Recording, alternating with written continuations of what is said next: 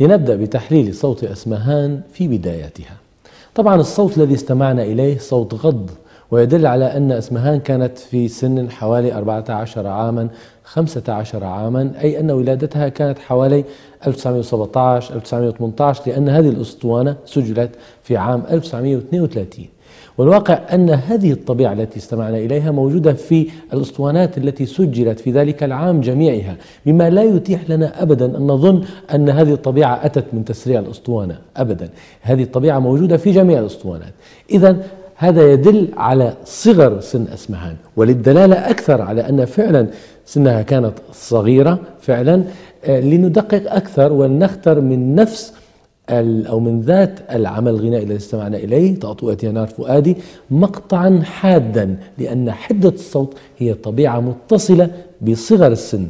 ليستمع إلى المقطع التالي يتبين منه فعلا أن صوت أسمهان في تلك الفترة كان صوتا غضا لم يتكون بعد كان صوتا لصبية صغيرة.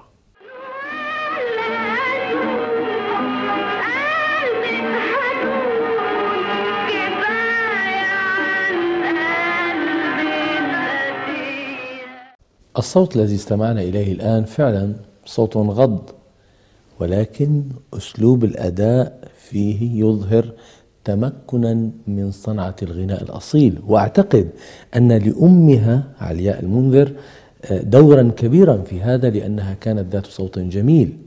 على كل حال لكي ندقق في موضوع الأداء ماذا؟ هل هل ماذا أعني بصنعة الغناء الأصيل؟ مدرسة الغناء الأصيل أو أسلوب الغناء الأصيل القديم يعتمد على ترجيف الصوت. لكي أظهر ذلك لأختر مثلا تأطوئة عهدني يا قلبي من ألحان زكريا أحمد التي طبعا زكريا أحمد أسلوبه في الغناء يعتمد على المدرسة القديمة وترجيف الصوت ولذلك سأختار عملا له. زكريا أحمد موجود مع المجموعة الغنائية المرافقة لأسمهان في هذا الغناء. لندقق في نهاية المقطع الذي سنستمع إليه المقطع الأول منه أو بداياته عند عبارة عهدني يا قلبي وكلمة يا قلبي فيها ترجيف للصوت لأسمهان.